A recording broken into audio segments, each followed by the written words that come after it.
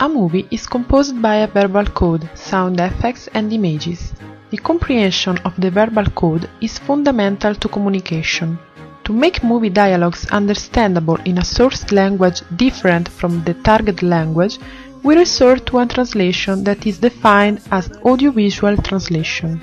The methods of audiovisual translation commonly used are subtitling and dubbing. Subtitling is a method which offers a translation of original dialogue by means of a written text placed at the bottom of the screen. We can recognize two types of subtitling, the intralingual and the interlingual. In intralingual subtitling, the written text that appears over the image is that of the source language. This kind of subtitling is addressed to two audiences with different needs hard of hearing people or students of foreign languages. Interlingual subtitles are written in a different language than that of the original product. They involve and combine two languages and two cultures. We have to distinguish between open and closed subtitles. Open subtitles are open to all and cannot be turned off by viewers, while closed subtitles are designed for a certain group of viewers and can usually be turned on or off or selected by the viewer. The creation of subtitles is composed by three steps. The reduction, that is the transition from long to short units of text, the diamesic transformation, that is the transition from oral to written code, and the translation, that is the transition from one language to another one. The term dubbing indicates the post-synchronization technique that consists in replacing an original soundtrack with another one. It is also known as recording or voice acting. The primary purpose of dubbing is to reproduce the speech of a film in a different language, promoting the circulation of a film beyond national borders.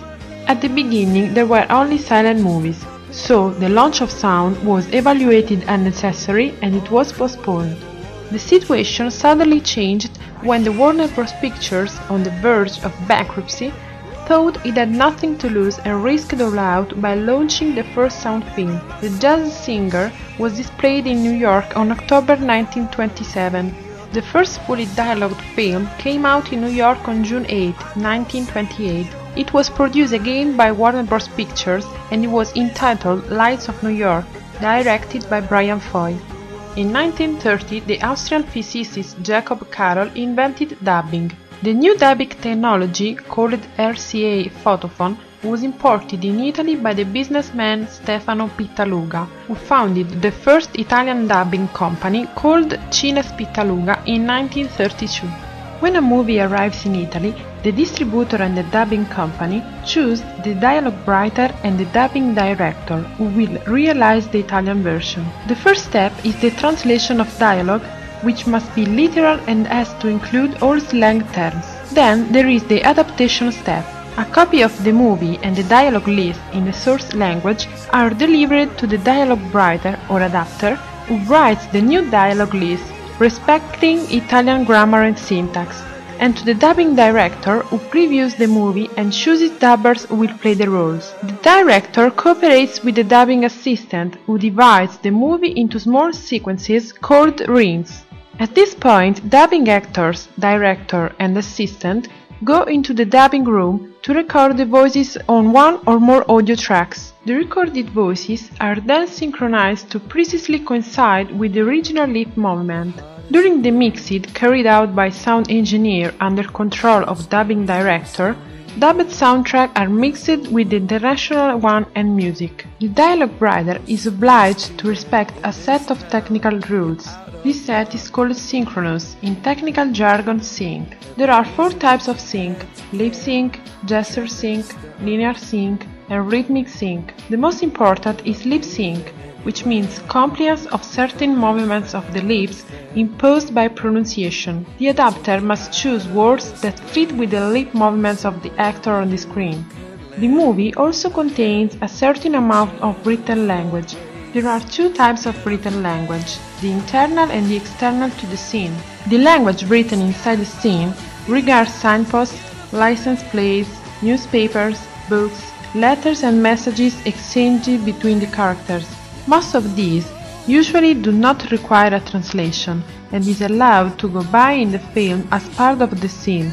The language written outside is that superimposed to the scene as the title of the movie, credits, but also subtitles and captions, which are used to translate a foreign language different from that original. These don't cause real problems in translation, as they could easily be replaced with the language in which the film is dubbed.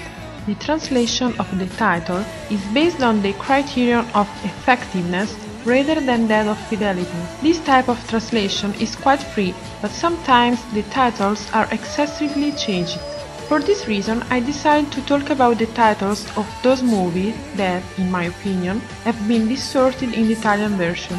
The movie A Walk in the Clouds was translated in Italian as Il profumo del mostro selvatico and the movie Home Alone as Mamma ho perso l'aereo. Road to Perdition became Era mio padre in the Italian version. The Texas Chainsaw Massacre became Non aprite quella porta. The Backup Plan in the Italian version reveals the plot of the movie becoming Piacere sono un po' incinta. The Shawshank Redemption became Le ali della libertà and The Seven Year Itch with Marilyn Monroe was translated as Quando la moglie è in vacanza. Changing a title is not always the best solution. In some cases, the Italian title explains the plot or even the end of the film, while the original remains ambiguous. That's the case of movies like Vertigo, translated as La donna che visse due volte. In Italy, it's becoming quite a trend to use if at the beginning of the title. That's why we can find movies like Se scappi ti sposo, originally Runaway Bride, Se mi lasci ti cancello, originally Eternal Sunshine of the Spotless Mind, Se ti investo mi sposi? Originally Elvis has left the building. Another adaptation translation option is the addition of the word amore. The time traveler's wife became un amore all'improvviso. Sweet Home Alabama became tutta colpa dell'amore. Made in Manhattan was translated as un amore a 5 stelle and While You Were Sleeping as un amore tutto suo. The movie Noel, which is really simple to understand, was translated with a more emphatic un amore sotto l'albero. The movie The Sound of the Music, which literally means Il suono della musica, was introduced in our country as Tutti insieme appassionatamente. This movie represents a musical in which the songs were translated and dubbed into various target languages. Being a fan of musicals, and specifically of the film Moulin Rouge, I decided to analyze whether song translation was appropriate. First of all, I must say that there are different cases. Starting from the presence of song in the soundtrack, chosen in order to emphasize the meaning of the story or a particular atmosphere, to the actor who sings or hums a song. In these cases, the choice to subtitle or to dub the song belongs to the dialogue writer. However, in case of musical, in which lyrics have a non-random link with the events of the film, it is a commercial decision that belongs to the distributor. In Disney cartoons, for example, the songs are always translated and dubbed as designed for an audience of children, and the translation in Italian is an essential element for success. Regarding a musical film designed for adults, the choice has always been to not dub the songs. A case is represented by the film Moulin Rouge, in which the lyrics are so linked to the dialogue, but they were already famous and known by the audience, so it was impossible to dub them. Moulin Rouge is a 2001 Australian-American romantic musical film directed, produced and co-written by the filmmaker Baz Luhrmann. It tells the story of a young English writer, Christian, who falls in love with the terminally ill star of the Moulin Rouge, Satine. The film opens with a depressive writer named Christian sits at his desk who begins to write on his typewriter. In 1899, one year before, Christian moved to the Montmartre district of Paris to become a writer among members of the area's Bohemian movement. He encounters performers led by Toulouse-Lautrec. His writing skills allow them to finish their proposed show Spectacular Spectacular that they wished to sell to Harold Zidler, owner of the Moulin Rouge. Toulouse-Lautrec arranges for Christian to see Satine, the star courtesan, to present the work. Very soon they fall in love with each other, but they don't know that Zidler is promising Satine to the wealthy and unscrupulous Duke of Moreau, a potential investor in the cabaret who tried to get rid of Christian. To protect him, Satine tells Christian they can no longer see each other as she will be staying with the Duke. On the night of the show, Christian sneaks into the Moulin Rouge, ready to pay Satine to return his love just as the Duke has paid for her. He catches Satine before she steps on stage and he demands she tells him that she doesn't love him.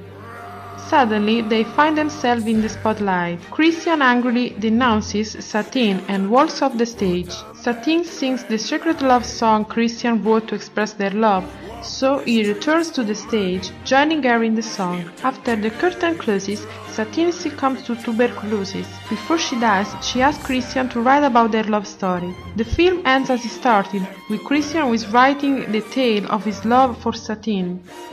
From beginning to end there is a continuous bombastic and sensual succession of colors, sound, effects and lights. Moulin Rouge adaptation has certainly presented problems not easy to solve. The songs of the films are not random choices, as they play a specific narrative function within the movie plot. There are a lot of references to the titles and song lyrics, and the combination between full quotes dialogues and songs mentioned creates an original play of references very complicated to translate. It was chosen not to dub the songs as they are very popular and contemporary, and if they were dubbed, they would have been jarring to the ears of an Italian audience which know them in the original version. This was the only choice, but there are a lot of losses in the film text. For example, when Christian defines love through famous love song titles, the Italian audience can understand it. I would say that an overall good job was done despite the difficulties of the film. Singing lines are subtitled and this makes their contents comprehensible,